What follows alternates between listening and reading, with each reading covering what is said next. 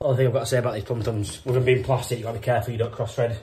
Because once you cross threaded the thread and knackered the thread, they ain't no good no more. So, if you are listening to the person that made them, probably not.